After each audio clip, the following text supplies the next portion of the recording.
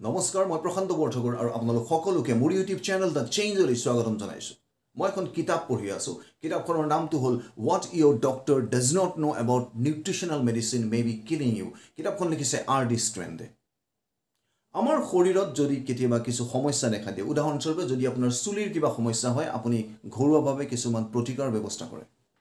আপোনাৰ স্কিনত যদি কিবা সমস্যা হয় তেতিয়াহ'লে হয় আপুনি চন্দন লগায় নহ'লে আপুনি হালধি লগায় হয় আপুনি ঘৰুৱাভাৱে এল'ভেৰা জেল লগায় যদি কোনোবা এজন মানুহ শকত হৈ পৰে তেতিয়াহ'লে তেওঁ জিমত যায় ৰাতিপুৱা দৌৰে শাৰীৰিক ব্যায়াম কৰে ডায়েট চাৰ্টটো সলনি কৰে। আমি নিজাববীয়াকৈ কিছুমান ব্যৱস্থা গ্ৰহণ কৰোঁ। কিন্তু চকুৰ কাৰণে আমি কেতিয়াবা নিজাববীয়াকৈ আমি কিছুমান ব্যৱস্থা গ্ৰহণ কৰোঁনে কৰা দেখা নাযায়। ৰাতিপুৱা ঠাণ্ডা পানীৰে চকুজুৰি ধোৱাৰ বাহিৰে বেলেগ কিবা ব্যৱস্থা গ্ৰহণ কৰা দেখা পোৱা নাযায়। এইখিনিতে মই যিখন কিতাপত মই পঢ়া কিতাপখনত উল্লেখ থকা এটা গুৰুত্বপূৰ্ণ কথা আপোনালোকক ক'ব বিচাৰিছোঁ। আমাৰ চকুৰ যিখন লেন্স থাকে এই লেন্সটোৰ লেন্সখন আমাৰ চকুত যিখন লেন্স থাকে লেন্সখনৰ চাৰিওফালে কিছুমান এণ্টি অক্সিডেণ্ট থাকে। সি ভিটামিন চিও হ'ব পাৰে ভিটামিন ইউ হ'ব পাৰে বা বিটা কেৰাটিনো হ'ব পাৰে। আৰু এই এণ্টি অক্সিডেণ্টখিনিয়ে আমাৰ চকুটোক সূৰ্যৰ আল্ট্ৰাভাইলেট ৰে মোবাইল বা টিভিৰ ব্লু ৰে ডাষ্ট পলিউশ্যন ইত্যাদিৰ পৰা আমাৰ চকুটোক প্ৰতিৰোধ কৰে।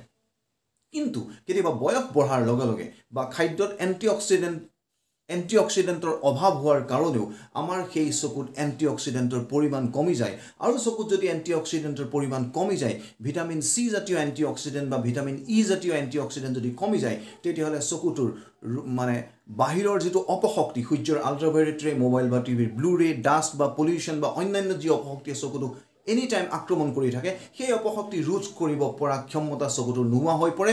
আৰু এজ এ ৰিজাল্ট প্ৰথম সমস্যা হিচাপে দেখা দিয়ে কেটৰেক্ট আৰু চকুত এখন জাল আহি পৰে এখন কেটৰেক্ট পৰে চকুত। আৰু যেতিয়া আমাৰ কেটৰেক্ট পৰে আমি এজন ডক্টৰৰ ওচৰলৈ যাওঁ আৰু আমাৰ ডক্টৰে আমাৰ কেটৰেক্টটো কাটি দিয়ে।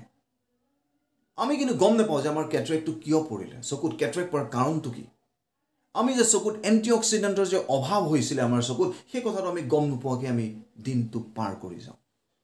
গতিকে এই ভিডিঅ'টোৰ জৰিয়তে মই এই কথাটো ক'ব বিচাৰিছোঁ যে আমাৰ চকু আমাৰ শৰীৰত পৰ্যাপ্ত পৰিমাণে ভিটামিন চি জাতীয় এণ্টি অক্সিডেণ্টৰ অত্যন্ত প্ৰয়োজন আৰু এই ক্ষেত্ৰত আপোনাক সহায় কৰিব পাৰে নিউট্ৰেলাইটৰ ভিটামিন চি চেৰি প্লাছে।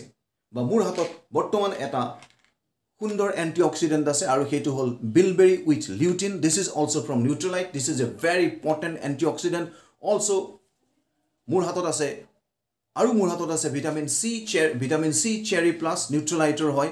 এইটো এটা খুব ভাল এণ্টি অক্সিডেণ্ট আপোনালোকে যদি খাদ্যত যদি ভাবে যে খাদ্যত আপোনাৰ এণ্টি অক্সিডেণ্টৰ অভাৱ হৈছে পৰ্যাপ্ত পৰিমাণে আপুনি পোৱা নাই তেতিয়াহ'লে আপুনি এনেধৰণৰ নিউট্ৰেলাইটৰ এণ্টি অক্সিডেণ্ট আপুনি ব্যৱহাৰ কৰি শৰীৰৰ সম্পূৰ্ণ শৰীৰটোৰ লগতে আপুনি বিশেষকৈ চকুৰ কাৰণে চকুৰ যিটো এণ্টি অক্সিডেণ্ট ছাপৰ্ট সেই ছাপৰ্টটো আপুনি বৰ্তাই ৰাখিবৰ কাৰণে এনেধৰণৰ ফুড ছাপ্লিমেণ্ট আপুনি গ্ৰহণ কৰিব পাৰে। Thank you wish you a very happy day ahead